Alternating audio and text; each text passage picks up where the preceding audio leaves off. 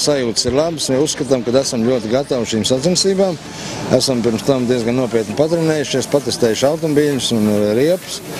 Tehnika ir gatava, jūtamies labi. Puikām ir, protams, savā starpā konkurence, un viņi katrs grib apsteigt savu kolēģi, bet tajā pašā laikā, ko es droši varu teikt, man ir ļoti liels prieks par to, ka puikas savā starpā komunikācijas viens otram uh, iesaka, aizrāda vai, vai jāsaka tā, kaut ko papildina, kur katrs kaut ko ir redzējis, kādu nu, trasē, kādu vietiņu vai vēl kaut kas. Tā kā es uzskatu, ka konkurence ir ļoti, ļoti šī mirklī labvēlīga.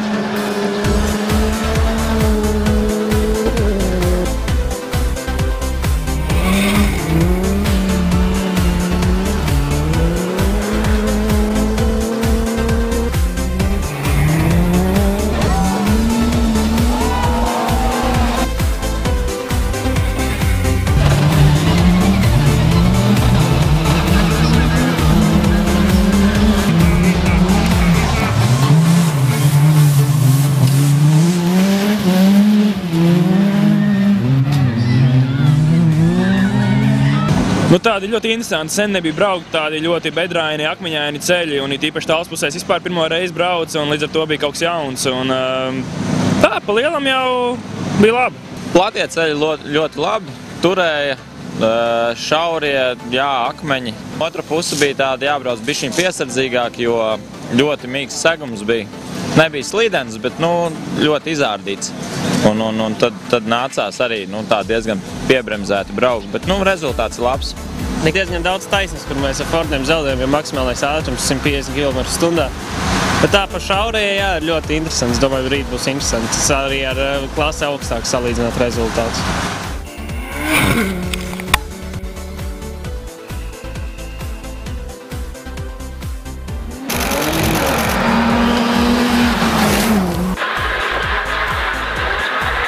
Kreisais divi tramplīns, iekšā tramplīns 50.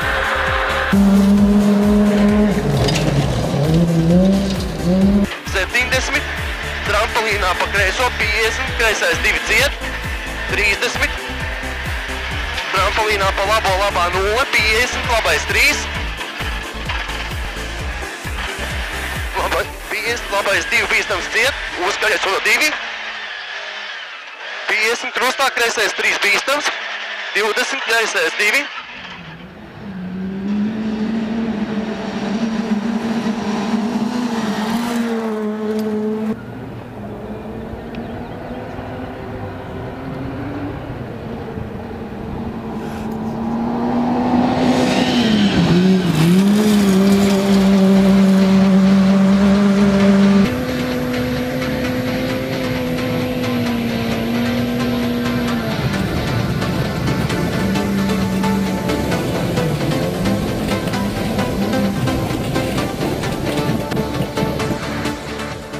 Pirmspēdējā ātrumposmā ieslīdējām grāvī, jo, kā teikt, nepamanīju kanti ceļa un izsit stūri.